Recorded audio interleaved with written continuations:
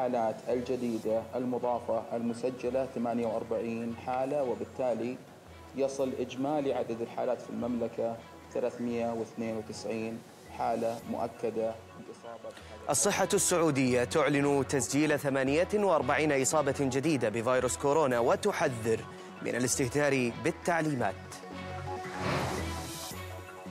الفيروس قتل اليوم 800 شخص فيها رغم الإغلاق.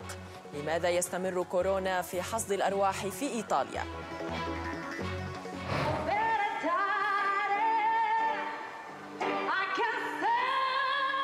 حوالي المليار شخص تحت الحجر في العالم في منازلهم لوقف انتشار الفيروس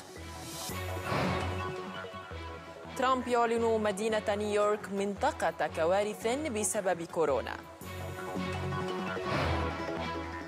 وسباق محموم بين علماء العالم لاكتشاف لقاح مضاد لكورونا.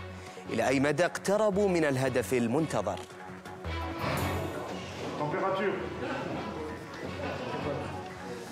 ومع انتشار كورونا في فرنسا رجاء كان السينمائي يفتح أبوابه للمشردين بدل النجوم.